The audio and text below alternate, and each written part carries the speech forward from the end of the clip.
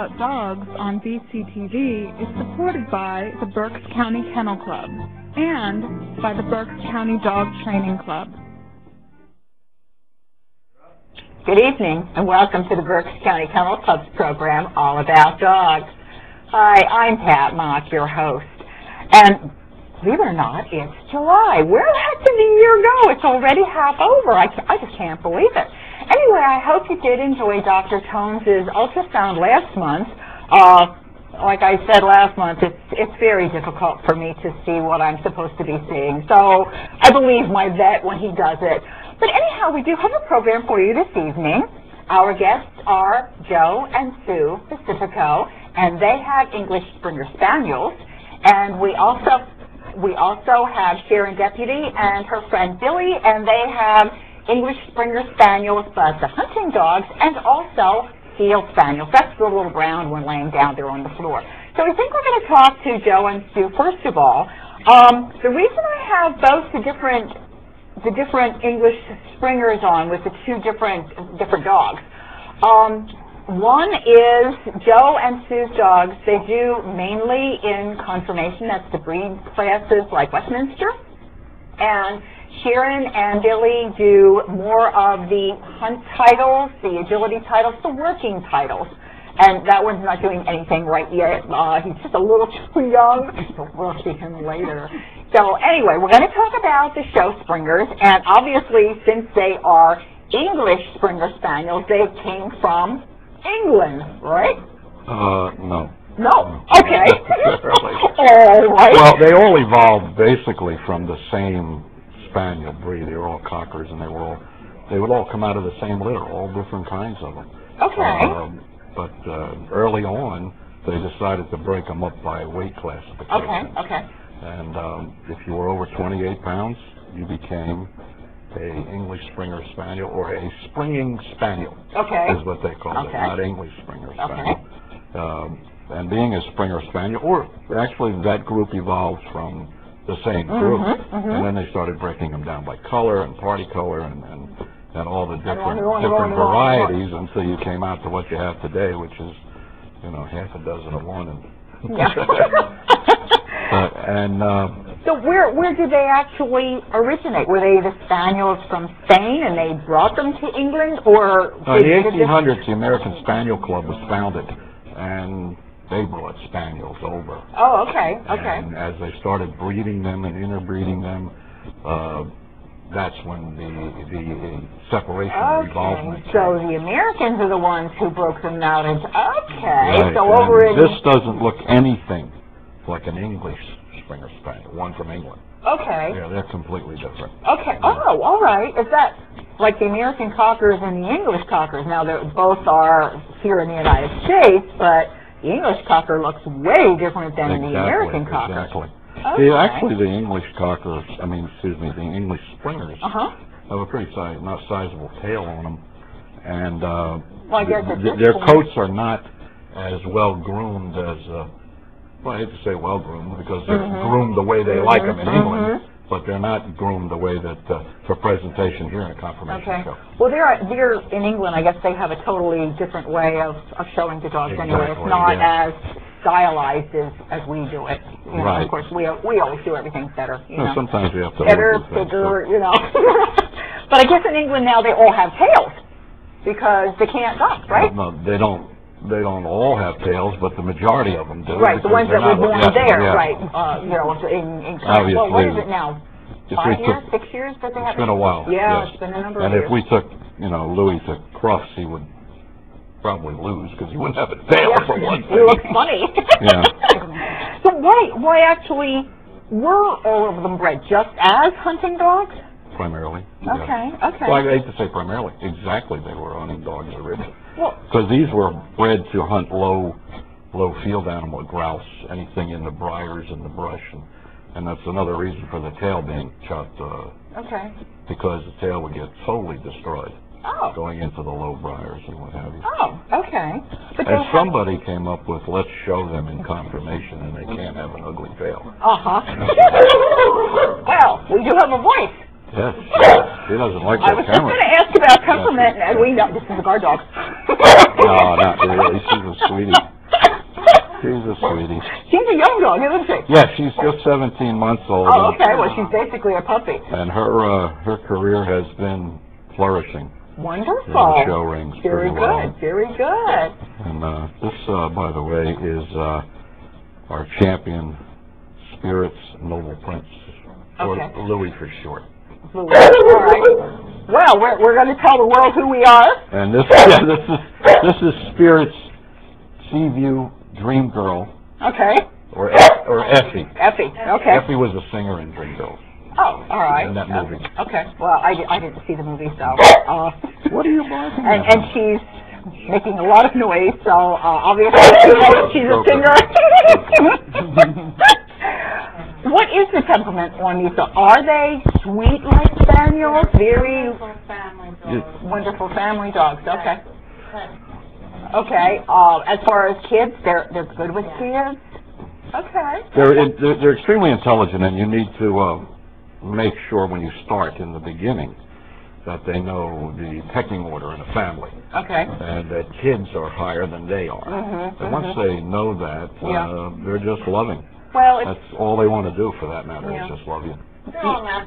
yeah, I, I think every, well, it's like the people with the Great Danes who were on, who said their dogs were lap dogs, it's like, who's lap? Oh, nice sized lap for a A Great very nice Dane, sized yeah. lap.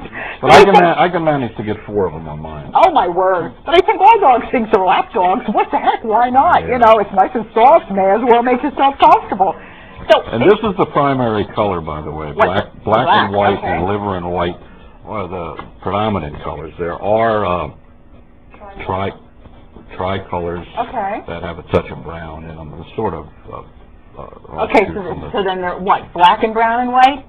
Yes, but it's, but predominantly- it's usually, the tricolors usually are only brown around the eyes, somewhere in the okay. muzzle, and the Okay. rest of them is just like a regular Springer. Huh, that's English interesting, yeah. But they're, they're, they're kind of rare. Okay. They- don't happen that often. Well, if, if it's not a desired color, you know, Um, yes, it's not, it's, Mhm. it's not really acceptable, but, uh, it, it, it only distracts from your score. mhm. you Oh, know, okay, okay, it's not a slightly. disqualification No, no. Um, so then, that's probably a throwback to one of the, The original, yeah. yeah, that's exactly right, that's exactly The right. gene came through somewhere. Yeah. Um, what about, what about grooming? They are very, Oh, that's, very styled. that's an, an intensive, uh, operation that my wife does, Okay. and it starts on Monday and never ends. Okay, people, so if you want a Springer, you know, you're gonna be grooming forever. Well, now, these are show cuts. Now, Uh-huh. it's possible, and we have quite a few other ones at home, that have pet cuts. Uh-huh. And now, on a pet cut, it's considerably different. Their hair is a, a lot shorter, and you may, you may groom them every six, eight weeks. Oh, okay, You know, okay. but now on a show cut, you have to keep it, uh, somewhat under control, or you'll be full of knots and Okay. have all kind of Yeah. problems trying to get them out. And that's what, uh, right now we keep three of them, I think, in show cuts. Why do they have this strange cut on their ears? Why, why does Strange it go what? part way down? Why don't you either cut it all off or leave it all long? Oh, we have a Now, home you, you're viewer. talking about the, Yeah. Hold on a second. Okay, home viewer, go ahead. Hi, good evening. Hi there. Hi, well, I'm the proud parent, uh, well, one parent of it, uh, two springers, and I just have to tell anybody who's listening that, uh, if you're considering a breed, that this is the best of the best. Your life will never be dull. They're right in the middle of everything, and they're, they're great for, for anybody. They're great companions. Now, my question, I have a question. Um, the, the ones that I've had have had a tendency to gain weight. and I'm just wondering, you know, sometimes they have a tendency, the older they get, towards laziness and inactivity. How can you keep them trim and active even as they get older? Don't feed so much. It's easy. Well- They don't open the refrigerator. You do. So just don't, if you see they're becoming less active, then you're going to cut down a little bit on the food. Now, I'm not saying if you're feeding them three cups a day, only feed them one cup a day, but gradually cut down the amount of food that they're getting. Uh, you know, we all, as we age, get a little bit heavier because now the, the knees are creaking and we don't run down the street any longer. We sort of stroll. So as we age, we don't get as much exercise, and we continue eating the uh, same amount of food that we did when we were 18 years old, and we are now getting on the pudgy side. It's the same with dogs. Just cut down a little bit on their food and make sure that they get a little a little exercise. Play ball, go for a walk. A nice walk around the block for an 8, 10 year old dog is wonderful. Yeah, I, um, like you said, as we get older, we have several older ones that tend to get broader. And Mm-hmm. they're on low-cal food, but Right.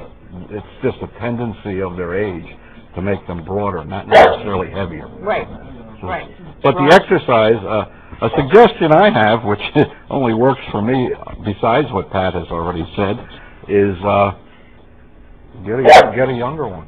Oh. We have a Like a twelve-year-old, there's a younger one over there, we have a twelve-year-old that could hardly walk, and we turned this puppy loose with him, and now he plays and rolls and carries Mhm. on, is having a good Oh time. yeah, a younger one for an older dog does do. I mean, they they actually perform miracles because the older one just insists they have to play with the younger puppy, and the younger puppy is all for that. So if you have different ages, especially you know, like if you have an eight-year-old and you get a year-old, they they they have a, a lot of exercise, both of them.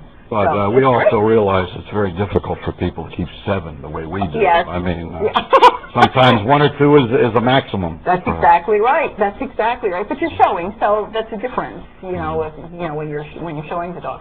Okay. Well, I hope that answered your question, and we're going to get back to the ears, the funny ears. Well, it's not an, an, funny. Well, to me, they look It's, it's, see, what would happen is this part of his head Uh-huh. would get all curly, okay. sort of like he had a perm, Uh huh. and that's unacceptable for a show. Okay. And if you can see the top of their ears, how curly they Mhm, are, mhm. and everything needs to run, everything needs to be smooth and flowing Okay. at a show. So it comes from this flat, smooth, and then down into the long length of the ear. Okay. down So into the ear just goes then into the chest, which also has long Yes, flowing hair, goes- which goes into the legs. And they have to, it has to look like a picture when you're showing them. Oh, okay. And little cur- little curls up on the top might remind you of alfalfa, but it doesn't.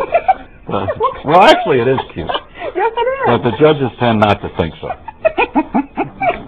what health problems do they have? Um, the the major health problem in these dogs would be a hip dysplasia Oh, okay. issue, and uh, which you know there is. And I can't remember what it's called, but you can give it to them for the uh, arthritis in their hips. and Okay. you can keep them, keep, glucosamine, yeah, glucosamine. Mhm, mhm. and you can actually keep them, you know, very healthy even with bad hips. We have a a, a little girl with bad hips that's 10 years old, Mm-hmm. and we've been giving her that since we found out she had an issue, Sure. and she's fine. Yeah. She- she's fine. Then there's no other breed specific other than the, the dysplasia.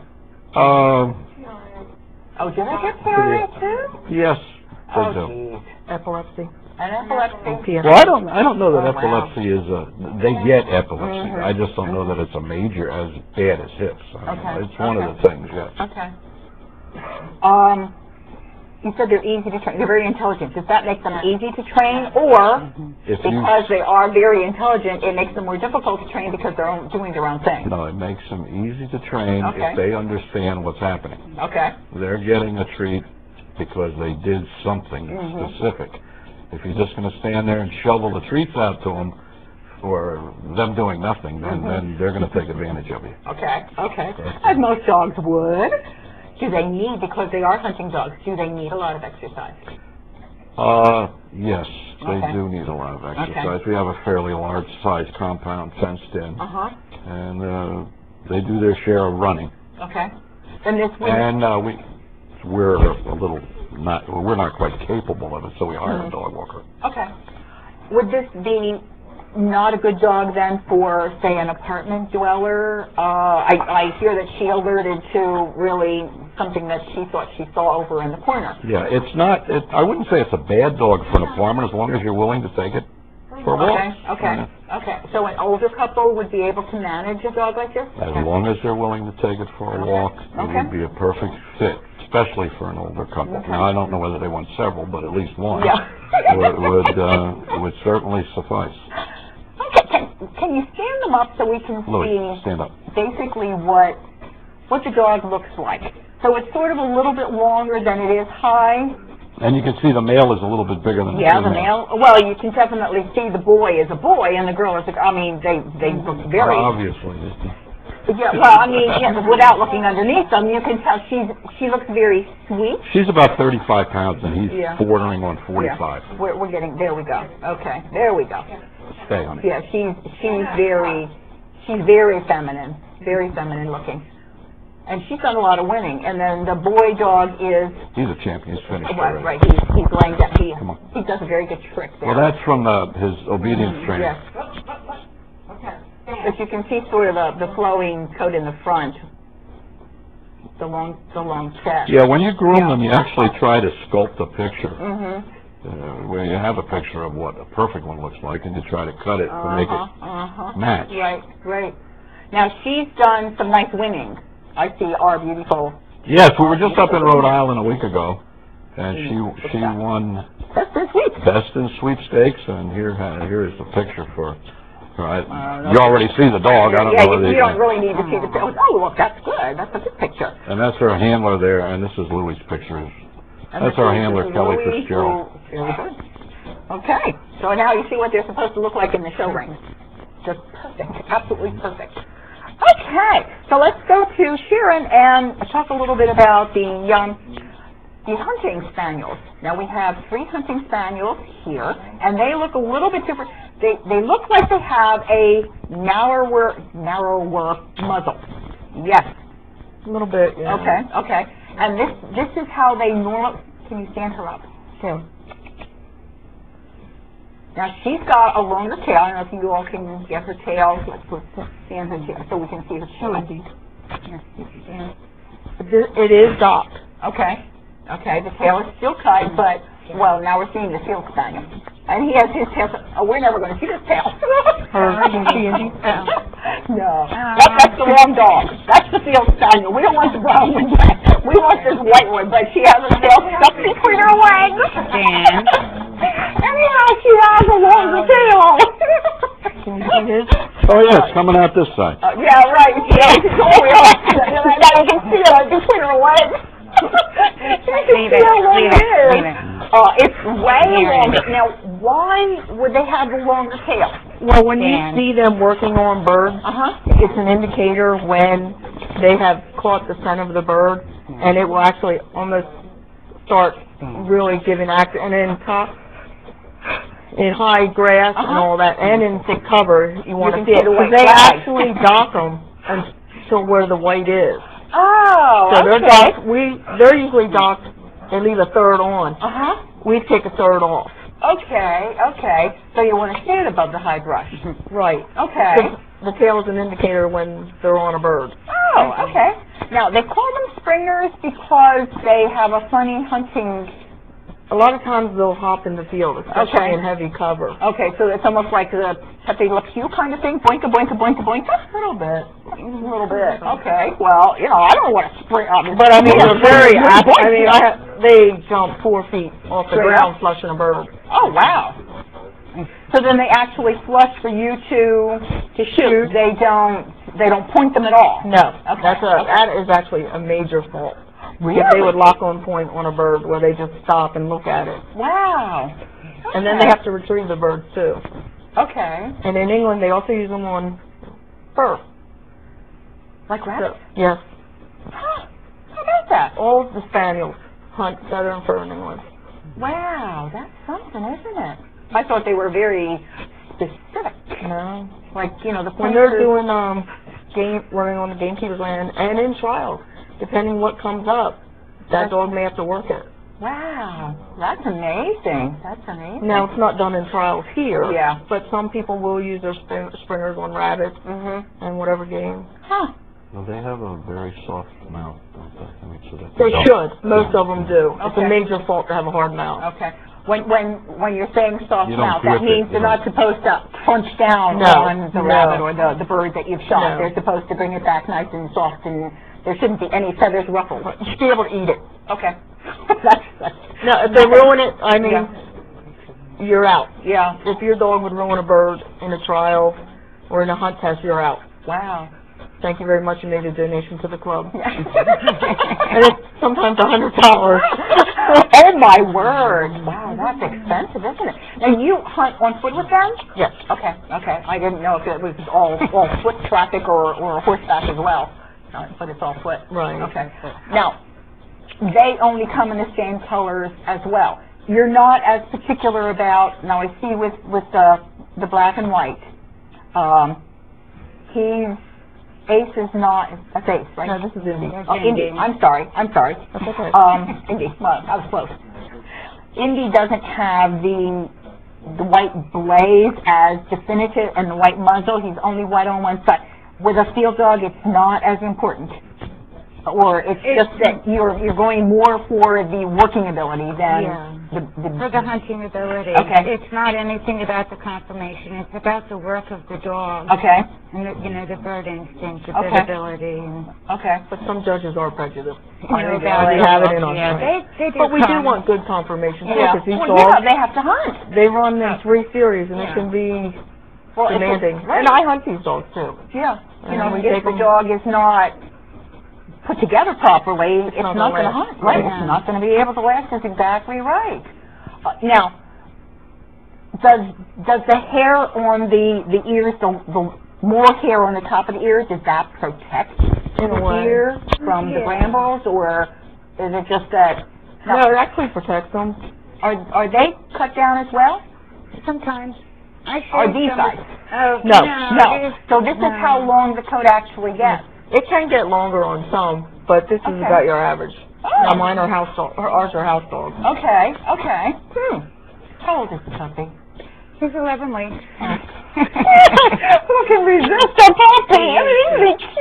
Now, he has the all-white muzzle and the blaze, so, you know, it's like... Mhm. And the black spot. Uh-huh, and the blacks, the, yeah, the freckles on the face. Yeah, they can. The Mine are all beauty different. Now, you have a lot of titles on Indy, right? Yes. Okay, you don't only do hunting with him, you do what else? I've done everything from A to Z. Okay. He does Willie's field champion, amateur field champion, Canadian field champion, master hunter. He's a master agility standard. Okay. He's excellent um, agility Uh-huh. jumpers with weaves, and he's done the obedience ring for his companion dog title. Wow. So our parent club, the ESSFTA English Springer Spaniel Field Trial Association, grants him the title of versatile springer. So he's Wow. one of the versatile springers. And how many versatile springers are there in the United States? Oh, I imagine they're probably up to maybe 20 now. Wow. I didn't get to go. I titled him in 2004. Uh-huh. He was the youngest. He was oh, just two years and four days old. Oh, my word. I just did everything. I'd never trained a dog. My husband did most of the field work, and I got in there handling and doing this and that, and we just That's- went to different events every weekend, and That's fantastic. It is a great hobby, isn't it? Yeah. It gets expensive, but Yeah, then what, what hobby's not Yeah, expensive, you know? It's better than going to a baseball game where you're paying and sitting, you know? Mhm. At least you're doing something. That's wonderful. I Wow. Yeah, all of my dogs have been very, very easy, and he fires a lot of litters. Yeah. The Girls calling him. Uh-huh. Well, I, I can understand it. Wow, he's got the smarts. But it, it's like she's done everything there is to do, basically, except the conformation ring. She did obedience, she did hunting, she did agility. I mean, there's not very much. tracked. Pardon? He hasn't tracked. He hasn't tracked. No, Okay. his name is Hellfire's Fast Track. Okay. So he is, once he's done the field trialing, he will maybe try to try. Very it good. Well, he We'll should be really that. good with that. I mean, with that nose, he's got to be fantastic. Mm-hmm. He's got a nice one. Wow, that's wonderful. That is fantastic. Now, you were saying other, uh, something other than, you said epilepsy in the breed and what else? There's a photokinesis, is that it? PFK, you call it. Mhm. And what we're is that? testing that. What, what It's an enzyme. Enzyme. Oh, an enzyme deficiency. What, they, that they lose weight? That they I can't? haven't seen it in the dog. Oh, okay. No, Hmm, sometimes more, these don't, the field people do, do as much helping. They are now. Uh-huh. Because we uh-huh. put so much time and money in them. Sure. I mean, thousands and thousands of dollars before we can get them in the field. Yeah. That they are doing more of the health testing. Wow, that's I great. have. I, I do the OFA on my dogs, and Uh-huh. I do the I CERF, Uh-huh. Yeah, I and mean, I keep did the new for- PRA. Uh-huh. So Well, I yeah, you have to. I mean, you, you don't understand why the dog isn't doing something for you, and, you know, I know people say, well, the dog just doesn't want to do it anymore. Well, maybe there's something wrong because the dog can't do it any longer. And PRA isn't something that you see, so to speak, uh, you know, a veterinarian would be able to tell you, but it's not, you look at the dog and says, oh my God, you know, he's got PRA. You don't really know that unless you have them tested. So that's, you know, the dogs aren't just being stubborn. Uh, there, there may be a reason. You need to take them to the vet and have them checked. Um, why did you select this breed? I got tired of trying to hunt show dogs. There- It's just a lot of work, and it's like driving a Volkswagen. This Uh-huh. is like getting behind the wheel of a Ferrari. Well, we're not going to have enough time to talk about the Field Spaniels, so we're going to have to have you back along with the Field Spaniels because we're we're running out of time here. Why did you select this breed? It selected us, Oh, okay. No, we- we had, um, a, a different breed, Mhm. and then, uh, we went and looked for a Cocker Spaniel, Mhm. and out from behind a tree or whatever came this long-legged English Springer Spaniel that was really strange looking, but we fell in love with it and took it home. Oh wow. And then after that, we just It's fell into history, yeah, huh? it is. And that's not what we originally went for. Wow. Oh, you're, well, you're glad you got them, though. Oh, yeah, you're certainly. doing fantastically well. All of you are doing so well with the dogs. That's that's They're our, great. they're our family now. Yeah. Uh, I mean, our kids are grown and grown. Yeah, well, yeah, you know, the two-legged ones, now you got the four-legged ones to worry about. So that's our program for this evening. I hope you enjoyed seeing both the different, uh, field, field English Springers and show English Springers, or conformation English Springers. And we will have to have Sharon back on to talk about her Field Spaniels, because we just ran out of time. We got so much information that we just ran out of time for the other dog. So anyhow, next month we will be on, uh, we're going to be doing, um, talking to some people about Obedience Trial Championships, which is what I mentioned to you last month, Obedience Trial Champion, and we're going to have some Agility Champions. So we're going to talk a little bit about the working titles, just like we did uh, this month, uh, just a little bit. We're going to get a little more in-depth next month. So for this evening, that's our program. Good night.